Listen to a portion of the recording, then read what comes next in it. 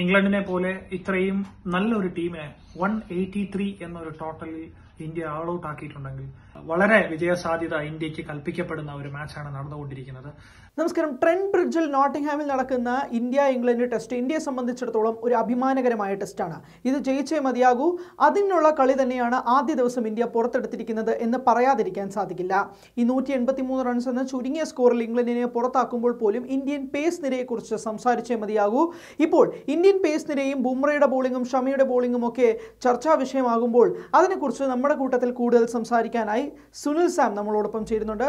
Sunil Sam Tamil Nadu Ranji ടീമിൽ കളിച്ച Malayali pace ബൗളറാണ് M R F pace foundation പരിശീലക സഹായി കൂടിയാണ് അദ്ദേഹത്തിന്റെ വാക്കുകളിലേക്ക്.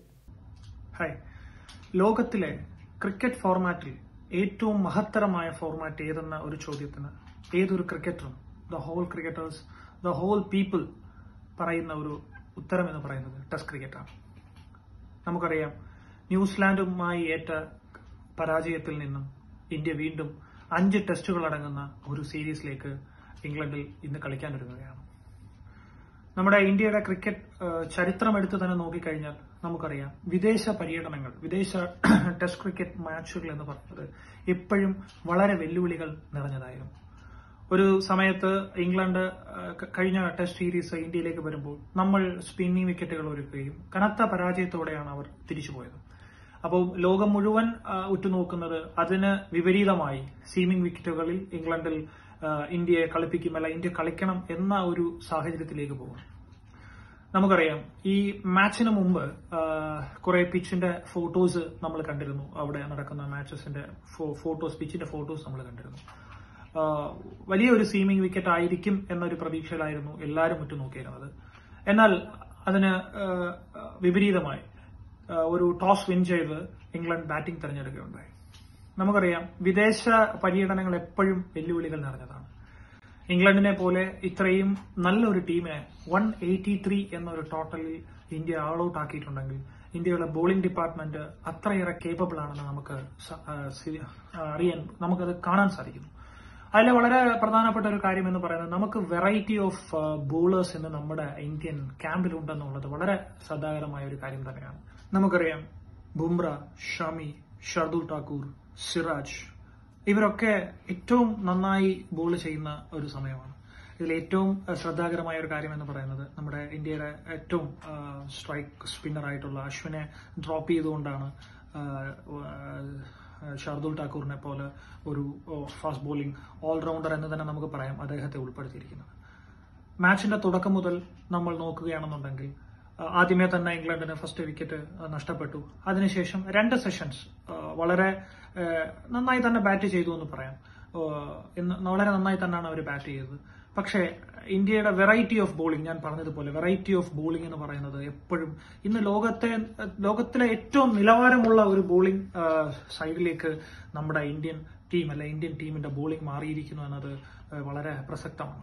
നമുക്കറിയാം ഇന്നത്തെ ക്രിക്കറ്റ് നിരൂപകർ അല്ലെങ്കിൽ ഓൾഡ് ക്രിക്കറ്റേഴ്സ് എല്ലാം ഇന്ന് ഇന്ത്യൻ ബൗളിങ്ങിനെ കുറിച്ച് പറയുന്ന കമന്റ്സ് അതിപ്പോൾ ഓസ്ട്രേലിയ ഇംഗ്ലണ്ട് അങ്ങനെ ഫോർമർ ക്രിക്കറ്റേഴ്സ് എല്ലാവരും പറയുന്ന ഒരു കമന്റ് പറഞ്ഞു one of the best bowling attack right now in the world എന്ന് തന്നെയാണ് അവർ പറയുന്നത്.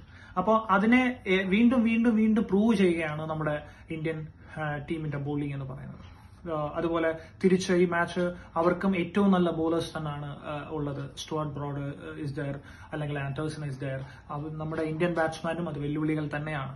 തീർച്ചയായും വെല്ലുവിളികൾ തന്നെയാണ്. എങ്കിലും ഫസ്റ്റ് ഇന്നിംഗ്സിൽ വൺ എയ്റ്റി ത്രീ അതുപോലെ തിരിച്ച് ഈ മാച്ച് അവർക്കും ഏറ്റവും നല്ല ബോളേഴ്സ് തന്നെയാണ് ഉള്ളത്. സ്റ്റുവർട്ട് ബ്രോഡ് ഇസ് ദയർ അല്ലെങ്കിൽ ആൻഡേഴ്സൺ ഇസ് ദയർ നമ്മുടെ ഇന്ത്യൻ ബാറ്റ്സ്മാനും അത് വെല്ലുവിളികൾ തന്നെയാണ്.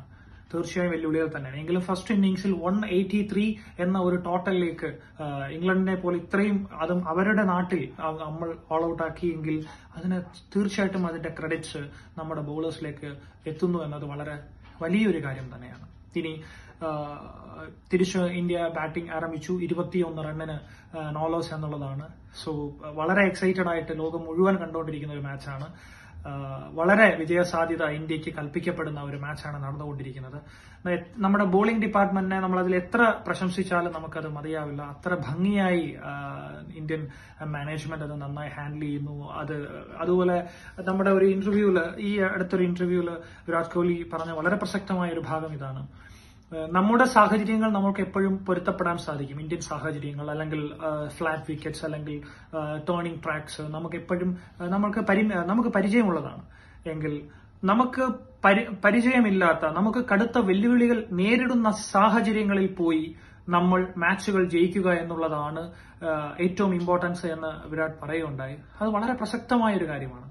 നമുക്കറിയാം ഓസ്ട്രേലിയയിൽ നമ്മുടെ മുൻനിര താരങ്ങൾ ഇല്ലാതെ പോലും ഓസ്ട്രേലിയ പോലെ ഇത്രയും വലിയൊരു ടീമിനെ അവരുടെ നാട്ടിൽ ഒരു ടെസ്റ്റ് പരമ്പര നേടിയതിന്റെ ഒരു ഒരു ഒരു കോൺഫിഡൻസ് പരിചയമില്ലാത്ത നമുക്ക് കടുത്ത വെല്ലുവിളികൾ നേരിടുന്ന സാഹചര്യങ്ങളിൽ പോയി നമ്മൾ മാച്ചുകൾ ജയിക്കുക എന്നുള്ളതാണ് ഏറ്റവും ഇമ്പോർട്ടൻസ് എന്ന് വിരാട് പറയുകയുണ്ടായി. അത് വളരെ പ്രസക്തമായ ഒരു കാര്യമാണ്.